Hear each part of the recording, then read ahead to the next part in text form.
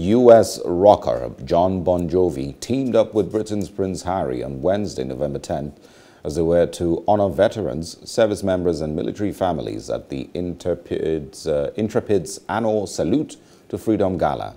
Harry and his wife Meghan walked the red carpet at the Intrepid Sea Air and Space Museum in uh, New York. The couple stepped down from royal duties in early 2020 and are living in California with their two children. Harry presented the Intrepid Valor Awards to five service members, veterans and military families. Bon Jovi received the Intrepid Lifetime Achievement Award. The gala took place on the eve of Veterans Day.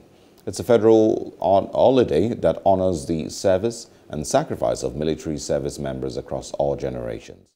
Well, we thank them for this great country, the unique country. I'm not sure they get the proper respect or love that they deserve for putting their life on the line and letting us all have the great way of life that we have living in the greatest country in the world with the most opportunities for all people. Well, certainly with uh, with Prince Harry, he's he's created a lot of interest because of what he's done, not not just as a prince in service to his country and, and as a military person, but also what he's done to give back to uh, to wounded warriors, to uh, to people to people who have served their countries, people in service. So I think that that I think is very compelling.